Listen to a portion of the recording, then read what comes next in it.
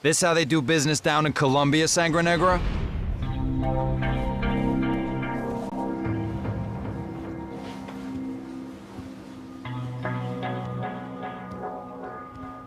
Must be taking too much of your own supply. It's making you paranoid. I call it cautious, senor. This is a dangerous business we are in. I have heard two assassins have been hired to kill me, and now, conveniently, you two gentlemen show up.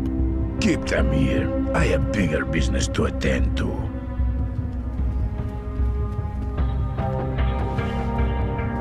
We'll make them talk when I return.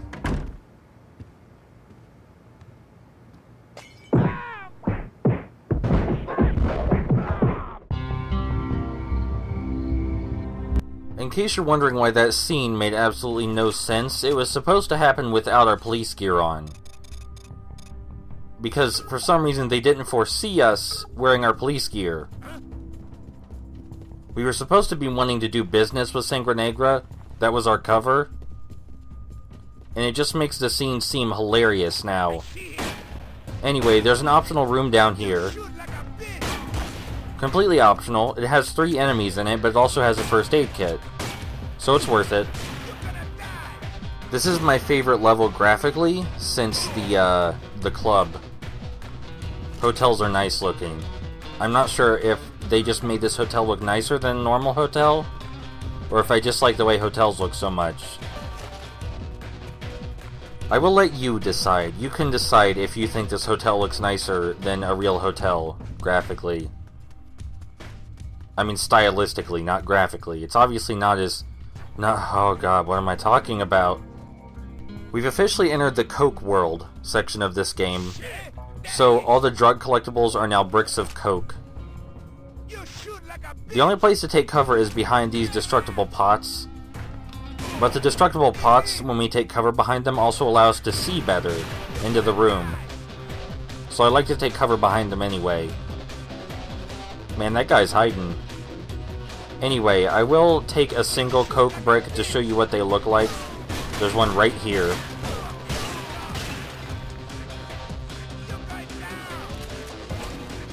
Apparently there were five cokes in that.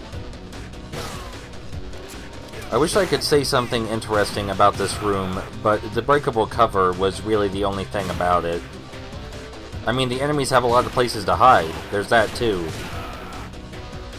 But even though we're really late in the game, it's going to be super easy because we have everything we could virtually need. We're just a walking death machine now. There's no reason to, uh, to be fearful of anything or anyone.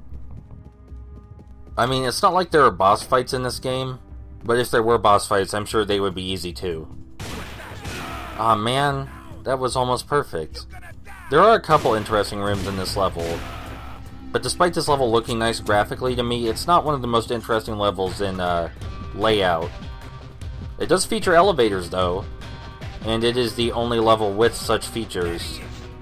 But elevators are really just prettier looking doors that teleport you to different parts of the map. It doesn't show the map in different layers, it just it just shows the map spread apart.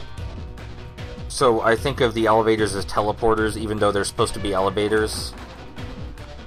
Because according to the map, we're, we're not using an elevator, we're teleporting horizontally into a different space.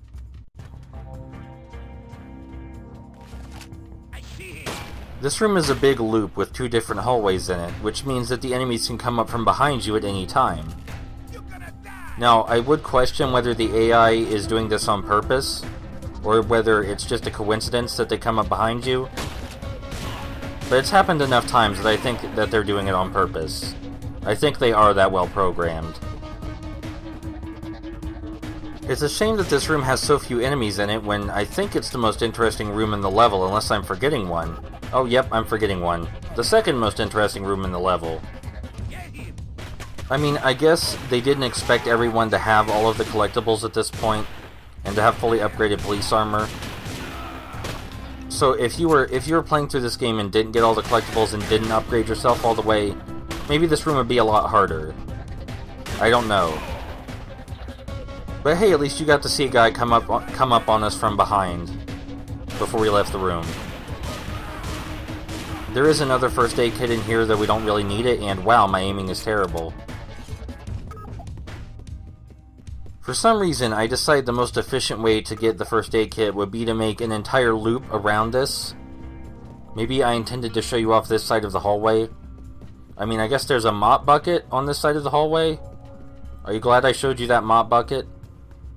Anyway, let's turn off security.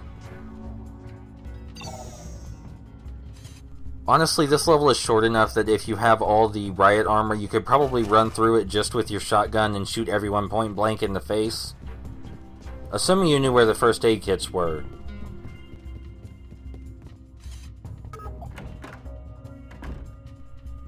Oh man, I was about to say, hey, uh, dishwashers, we haven't seen one of those since in the desert next to a billboard, and I was thinking of a completely different video game.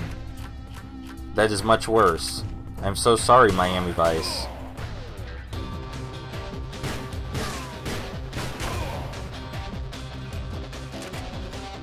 No, I'm not going to tell you what game that was.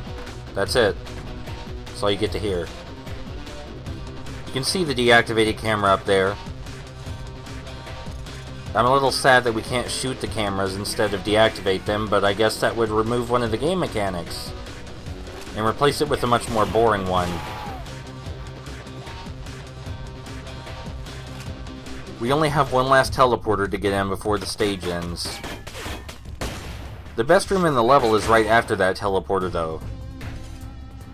For some reason, we can only use the fancy-looking elevator, not the ones next to it. By fancy-looking, I mean the service elevator. But whatever. This room is pretty fun. There's a bit of railing in a circle right here, and a whole bunch of enemies on the floor below. Which, just like that, uh, that movie room in the very first stage, we get a whole ton of free headshots. Or, I mean, theoretically we would. We got at least one headshot out of it. Also, I do believe a lot more enemies appear in this room if you don't deactivate the cameras. Still pretty easy, though. And I think the flash ram is behind the counter over here. I don't know why we're still getting it, but we are anyway, so just just take it. What, what do you care? You're not going to see it either way. I mean, from this point we could honestly just run straight to the exit.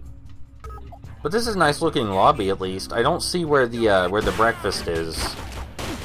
I think that's a bar, but that's not that's not breakfast. I hope this place has continental breakfast. I like the tiny bowls of cereal. The little tiny novelty cereal boxes. I wonder if anyone's collecting... Man, that guy spun. I wonder if anyone's collecting those and like selling them on eBay after they become rare. Anyway, the exit's right over there, so...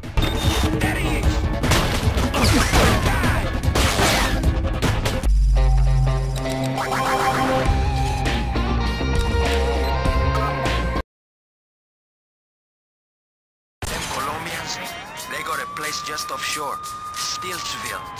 Lots of guns, lots more crazy. They got a big shipment being organized from there. Sangre Negra cartel stronghold. If you could get information on coke shipments coming in, then we can hit them before they even arrive in Miami.